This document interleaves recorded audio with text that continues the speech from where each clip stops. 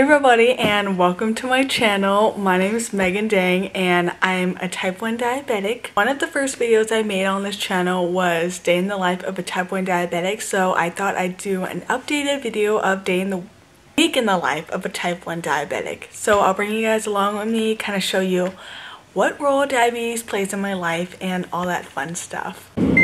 So today is Tuesday, March 26th and it's 4.20 right now and I'm on my way to a dentist appointment. Every time before I start driving, I don't test my blood sugar, but I always check Dexcom to see what my blood sugar is.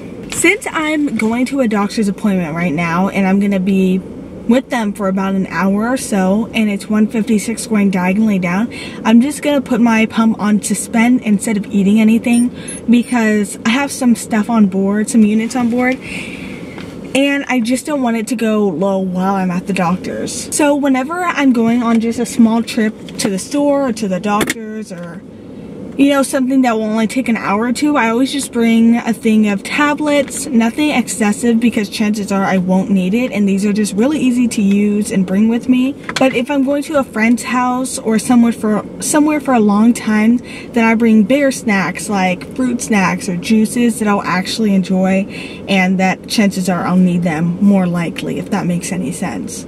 So we're just gonna drive to the dentist's office right now. It takes literally five minutes at most. It's really close to my house. When driving, the most important thing to focus on is your safety. So this could mean not going on your phone, not texting, not messing around with the radio during traffic, a variety of things. And that can be tough sometimes, but it makes it even more difficult if you're a diabetic because you have to focus on bolusing yourself, eating, um, managing your blood sugars while you're driving, and all that stuff. And it can be a lot of work to have to pull over every single time you need to do something like that while you're driving. So, some things that I do at home before I drive to make sure that I can manage my diabetes while driving is to first have Dexcom on my phone always. And I usually prop my phone up somewhere like right here with the Dexcom screen on while I'm driving. So that way I can just have it on at all times and see it right there while I'm driving and I don't have to fuss around with anything while I'm on the road and actually actively driving. Thing I do or have done is practiced bolusing myself without looking. So I do this at home before I drive to make sure I'm familiar with all the buttons, know how many times to press to get the insulin, um, just feel comfortable with it so that when I'm driving and need to correct, I can just do that without having to actually look at my pump and actually focus on the road. So I wouldn't suggest just diving in and doing that by yourself, but if you're wanting to practice it at home first and then do it on the road, then that might be a tip. Another thing is to bring snacks that are easy to eat. So like I said, the tablets are really easy.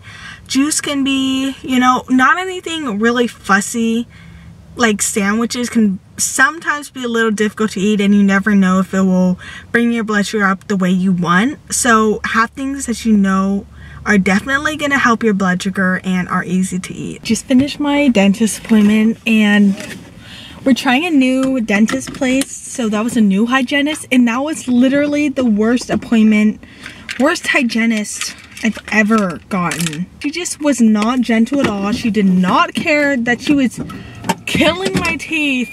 She was scraping. I know you had to scrape and all that, but she was full on just like scraping at my gum.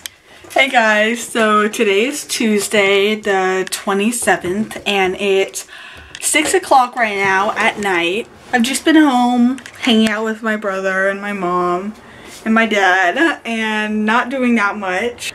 I'm actually a senior this year in high school and what they say is true. Senioritis is real. so anyway, I finally finished making this in ceramics. I made this man, which is supposed to be a Greek man. I made these two little bowls a while ago. Right now I'm getting ready to go take a shower and as a diabetic when you shower and if you have a pump site in you have to put these little caps in. I'm gonna be honest I have not been using these caps for a while. I was really really good at using them when I was little but kind of once I entered high school, I don't know what happened, but I kind of just stopped using it. And for the past year, I literally have not used it at all when I've been showering. But I'm going to try to start using it again. So if you're a diabetic, try to use your caps. And if you're not diabetic, these caps, just know it's another big responsibility you have to have as a diabetic and I have not been good at it but I'm gonna go shower now and that's what's going on now. Okay, so I'm back and I'm actually not gonna go shower because I felt a little low so I checked what my blood sugar was on Dexcom and I'm 70 going diagonally down so I can't shower right now because it takes me about 10 to 15 minutes for showering and changing and all that and my blood sugar would just go too low so I'm gonna go eat first before I go shower and this is just one of the struggles you have to deal with as a diabetic. Today is Thursday, the 28th, and I just got home from school a little while ago. And yeah, right now I'm gonna about to go eat lunch. So as a diabetic, before I eat lunch, I always have to make sure my blood sugar is good. So, checking Dexcom, it says 131. So now what I usually do is I bolus 50 grams or 5 units or so and then while I make my food that time then it's going in. So as diabetics we have to prepare so I usually bolus before I eat instead of when I eat so then my blood sugar is good throughout the entire eating process. When I was younger and before I had Dexcom, I was very exact with what I bolused and was very careful. But with a continuous glucose monitor, you can just kind of bolus as you go, if that makes sense, which makes it so much easier. And my blood sugars have been so much better since I got the Dexcom four years ago, and it's just a lifesaver.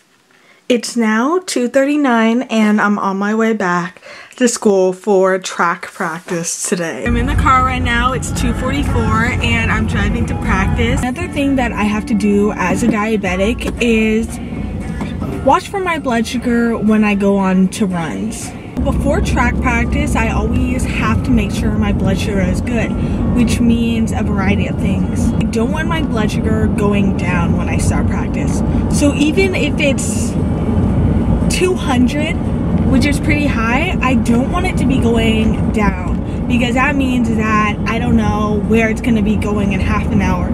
I want it to be at a steady number that I know what it's going to be while I practice. Another thing is that I never want stuff on board because the same kind of issue, you don't know where your blood sugar is headed when stuff is on board. I go running, I usually like to have my blood sugar around the 180s to 200s and either flat or going diagonally up, but only with a little bit left on board. Wait, I think I was getting a little technical with my explanation.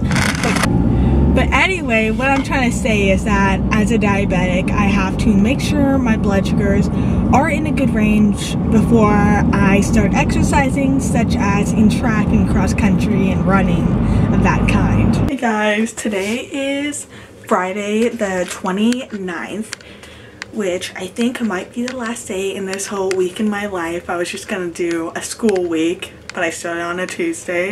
But it is 7.16 in the morning right now and I'm getting ready to go to school. It's now the afternoon and I got home from school about an hour, an hour and a half ago and I ate lunch and did all that fun diabetic bolusing. I was going to continue to try to make more of this video, but I don't think I have that much more to offer and I don't want to make this video really long and draggy so I think I'm going to end this week in my life here. I hope you guys enjoyed this video and if you have any comments or questions or concerns, things of your own, please feel free to leave it in the comments and I'll make sure to respond to them. Thanks for watching.